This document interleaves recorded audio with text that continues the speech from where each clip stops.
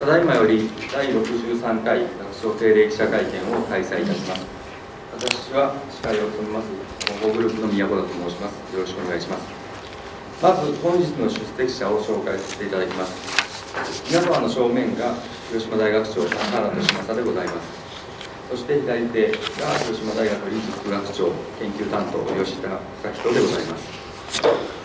え本日の進行についてご説明いたします。本日はまず笠原学長より発表事項1から4について説明いたしますそして発表事項5の広島大学インキュベーション研究拠点紹介につきましては極限宇宙研究拠点拠点リーダーの大学院理学研究科深澤康教授がご説明させていただきます質疑応答の時間はこの説明の後11時50分頃から用意しております本日の会見は以上の内容を12時までに終了する予定にしております。なおお知らせにつきましては特に説明はいたしませんので資料をご覧ください。それでは浅田学長より発表事項1から説明させていただきます。よろしくお願いします。はいよろしくお願いいたします。えー、あの本学は平成25年に、まあ、文部科学省えー、研究大学強化促進事業に採択されていまして、まあ、世界的研究拠点の継続的創出ということがまあ重要な事項になっています。でこの本学のまあ研究シーズをですね全学でまあ評価いたしまして昨年あ25年ですね25年にえっと、実拠点を選定しています。まあ、すでにあのご案内した通りなんですけども、えっと、本日の資料にありますね。で、続けて26年度に新たに7拠点を選定いたしました。これは、えっと、別紙1枚めくっていただいて、あのインキュベーション拠点として6つ自立ステージとして1つを選定いたしました。まあ、これらの研究拠点は、まあ、今後、まあ、本学の、まあ、高い研究力を誇る特徴的な、まあ、研究拠点として育成していく計画です。まあ、基本的なインキュベーション拠点は3年で中間評価を行ってまあ、さらに大学として支援するかどうか決めるんですけれども、まあ、このインキュベーション拠点には URA を配置し研究スペースの優先対応。それから、え、まあ研究費も支援していきます。そして、まあ、機会を見つけて広島大学の特徴的な研究拠点としてまあ、学内外に発信していくということになります。まあ、このようにして吉島大学の研究力をの向上を図っていきたいというふうに考えています。えー、と2つ目が学生団体に広島大学原爆瓦発想の会というのがあります。これはまあこれまでに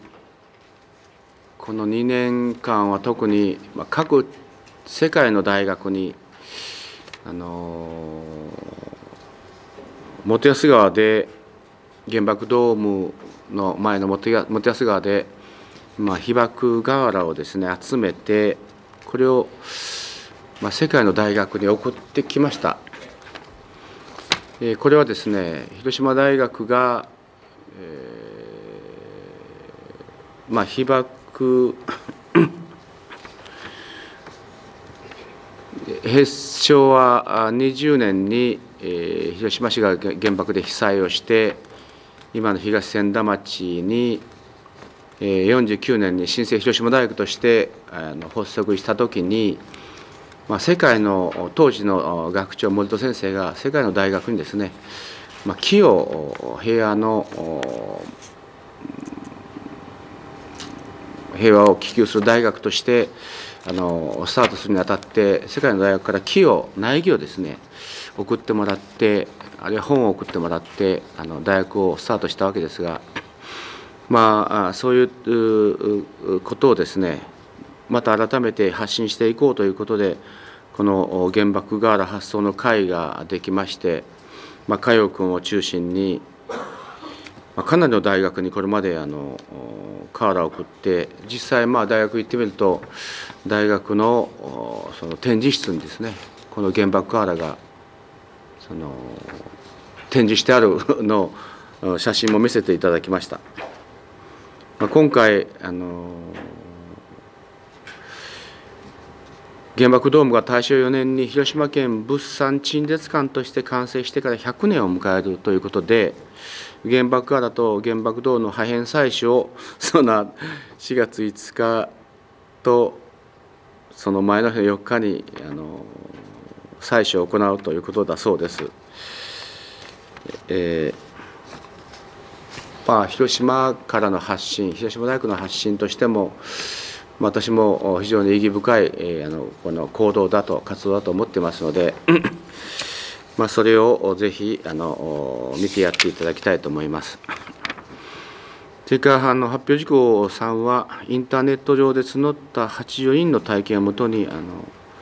海外体験エッセイ集を発行しています。これはあの広島大学経済学部経済学科の4年の樋口夏樹さんが代表を務める手をつなぐ政策委員会これは広島大学の学生は樋口さんだけですよねあこの本があのできてますけど 他の大学の学生たちともあの連携をしてネットワークを作ってうん海外体験、まあ、なんでのこういうことを知ったかというとおそらくその実際自分が海外行って体験したことがですね、まあ、決してあのメディア情報のままではない通りではないというようなこともあったということで、まあ、ぜひあの多くの若者にそのことをあの伝えたいと。実際に海外に行った人たちをの現地の体験談を聞いてこれはできたのは2012年10月らしいんですけども80を超える記事がですねこの本に載っているということで、まあ、このエッセイ集を発行したと。いうふうに、えー、聞きました、えー、500部で、えー、定価800円。ぜひあの関心を持っていただければと思います、えー、発表事項4はあのプロフェッショナルのフットサルリーグでフル大生2人が入団をして活躍中だということです。チームは広島 F ドゥという、永井聡君、教育学部の3年生から生物生産学部4年生の北村優さんがあの入っていて、広島は、広島はまああのプロスポーツが非常に熱心でレベルも高いというところに、まあ、フットサルプロリーグがあのできて、今 J2 だそうですけども、まあ、ここで本学の学生が活躍しているのをぜひあの関心を持って見ていただければと思います。それではあの5番目のインキュベーション拠点の研究拠点の紹介を福田先生からお願いします。こちらで